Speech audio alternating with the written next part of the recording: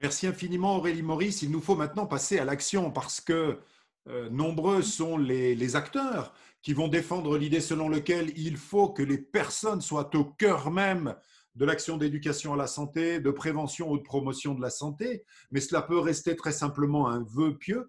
Comment peut-on faire pour réellement prendre en compte les pratiques des gens, leur représentation, sans les trahir?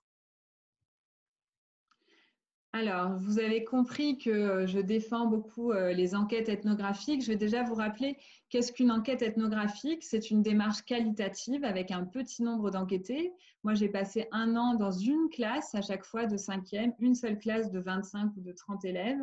Souvent un réseau d'interconnaissance. Là, c'était totalement mon cas, hein. euh, mais ça peut être un quartier, ça peut être euh, voilà, une communauté, une association qu'on étudie. Les techniques d'enquête utilisées, c'est principalement l'observation, avec un carnet d'observation qu'on a toujours avec soi et qui permet de noter tout ce qu'on observe. Et, il faut avoir l'œil très aiguisé à euh, observer euh, tout, ce qui nous entoure, pas seulement ce que disent les gens, mais aussi comment ils sont assis au sein de la classe. Moi, à chaque fois, je faisais des plans de la classe pour voir où les élèves s'étaient assis, à la cantine aussi, je faisais des plans de la cantine.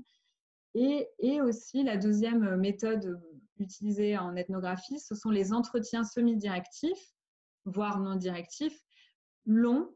Moi, ça allait de 1 heure à 4 heures pour les parents et un peu moins long pour les adolescents, et parfois répétés, avec une diversité de lieux d'observation. Vous avez vu que je vous disais qu'une même personne peut se comporter différemment selon le contexte dans lequel il est. Donc l'idée, c'est d'étudier les mêmes personnes dans des contextes différents pour voir justement comment elles se comportent selon les contextes. Et donc, on est vraiment centré sur une personne, sur quelques personnes qu'on suit, euh, que ce soit à la cantine, dans la cour de récréation, euh, dans les couloirs de l'école, en cours, mais aussi dans leur famille. Moi, je me suis rendue dans les, dans les maisons, dans leur lieu de vie. Donc, finalement, dans les deux grands espaces dans lesquels évoluent les adolescents.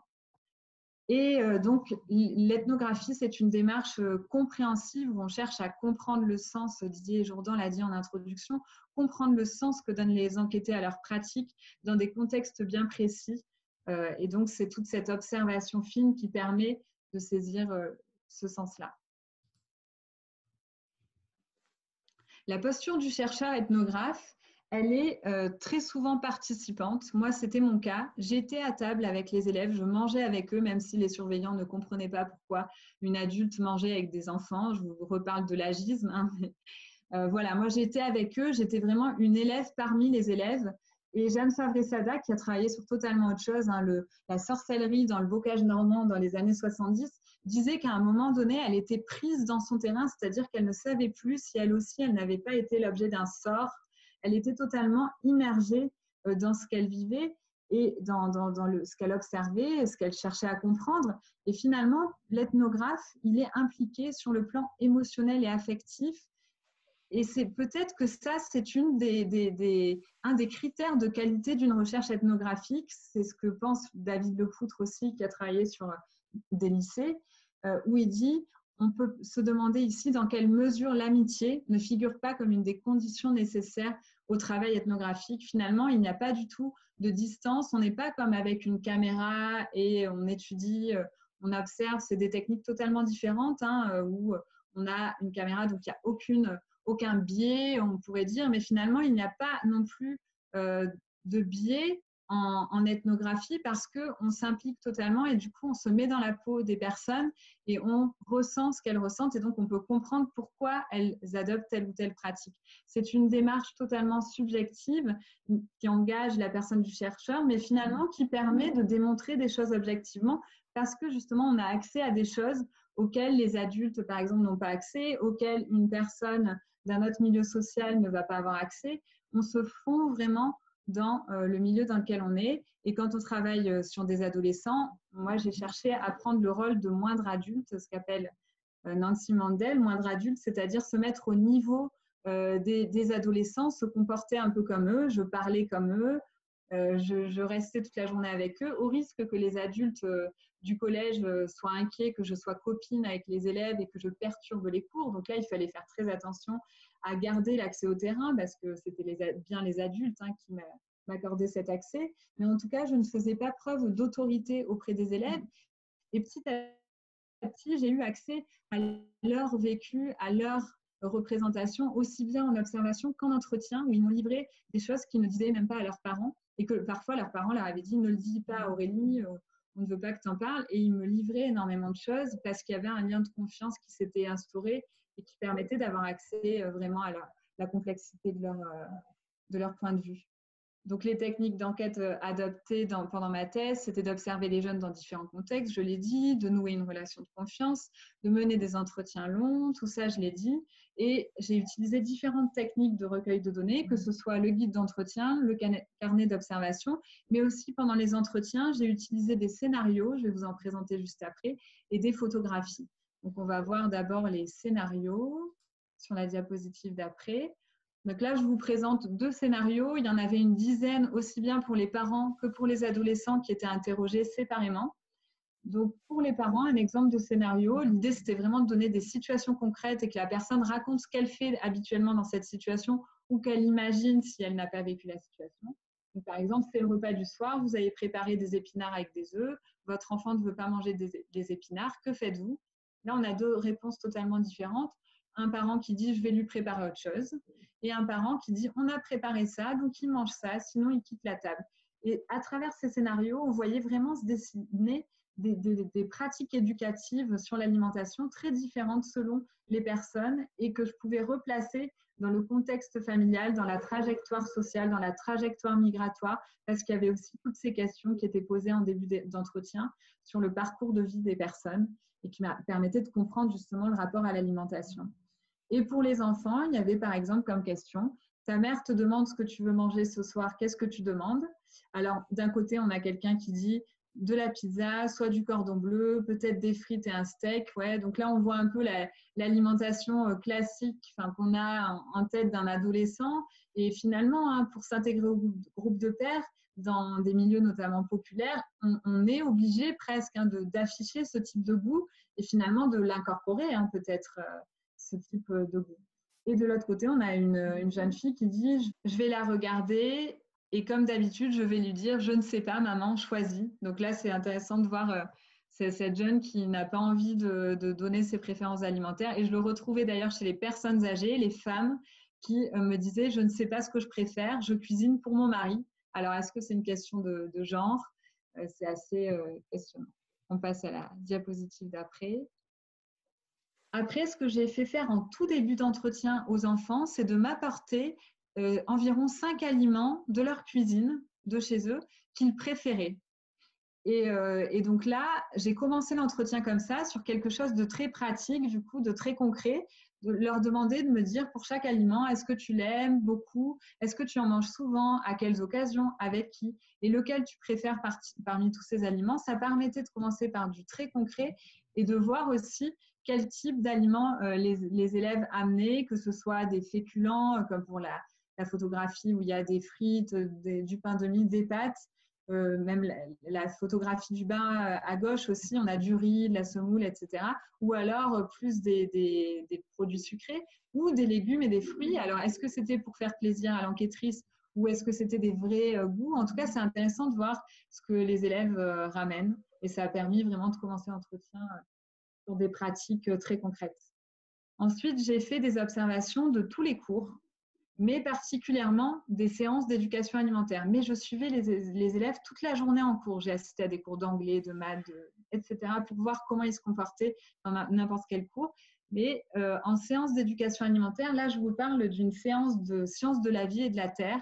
L'enseignante faisait travailler les élèves sur un logiciel qui s'appelle McDo, qui a été créé par McDonald's. McDonald's est très fort hein, parce qu'il a créé un logiciel que les profs utilisent dans euh, l'éducation alimentaire. Donc là, les élèves devaient euh, construire, enfin proposer un menu qu'ils mangeraient à McDonald's et le, comparer à leurs dépenses énergétiques euh, sur la journée pour voir si ça correspondait. Et là, vous voyez deux élèves qui font partie du groupe dominant, qui cherchent à gagner en prestige, qui proposent des menus totalement gargantuesques avec euh, trois burgers, euh, deux desserts, etc. et qui explosent totalement le nombre de calories à absorber en une journée et qui sont donc totalement hermétiques à la séance proposée et qui ne cherchent pas du tout à s'y intéresser et qui cherchent simplement à dire nous on adore McDo, on adore manger là, on veut, euh, euh, on veut provoquer l'enseignant, on veut montrer que nous on, a, on transgresse les règles sans aucune sans aucun problème. Et de l'autre côté, des élèves plus en marge avaient choisi des menus avec une salade, etc. Les, les, petits groupes d'amis dont je vous ai parlé, qui sont un peu à l'abri en plus et qui n'ont pas besoin finalement, qui ne cherchent pas forcément à, gagner en prestige, qui, sont, euh, qui peuvent être bons élèves et, ne, pas, euh, ne pas chercher à, ne pas l'être, qui, sont un peu protégés du fait de, ces petits groupes d'amis. Et, euh, et, voilà, on voit donc différents comportements en fonction de la position au sein du groupe de pairs.